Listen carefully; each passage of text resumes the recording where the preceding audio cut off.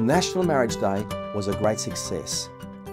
August the 14th, over 500 people gathered on the lawns of Parliament House with colourful signs that said, Man plus wife equals life.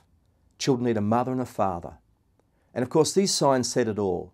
And we thank the politicians who came and spoke at the rally Senator Eric Abetz, leader of the opposition in the Senate, uh, Senator Mark Furner, a very brave Labor senator, came and spoke as well, Philip Ruddock, Kevin Andrews, Senator Cory Bernardi, and marriage between a man and a woman is much more than a personal union.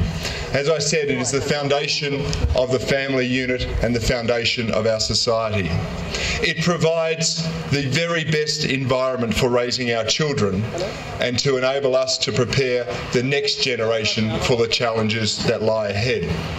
So when this sacred bond is reduced to a mere contract between two, or as some would have it, even more people, or it's claimed as a human right, we begin to unravel one of the great pillars of our society. And in the dissenting report, we specifically refer to this particular passage in terms of the European Court on Human Rights.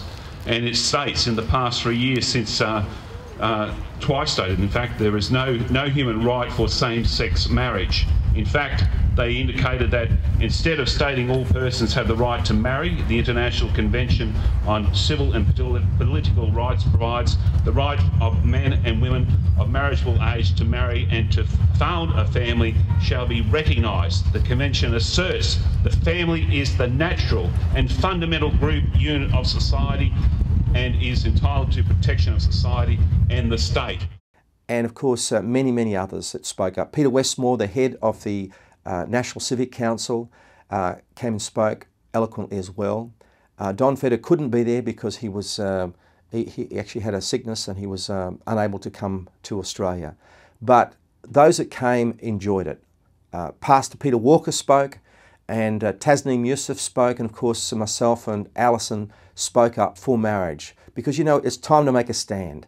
And again, we just want to say thank you to all those that did make a stand. The media tried to ignore us. Uh, and then they wrote a very scurrilous article attacking Pastor Peter Walker, an Aboriginal man who spoke up and pointed out the many problems with, uh, that will be face our society as we embrace this uh, uh homosexual marriage.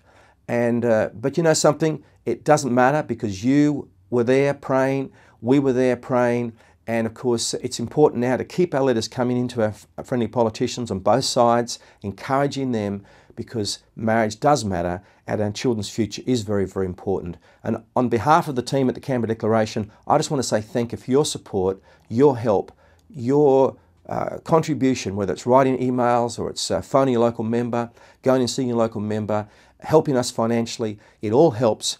And believe it or not, we are making a difference here in this nation. God bless you.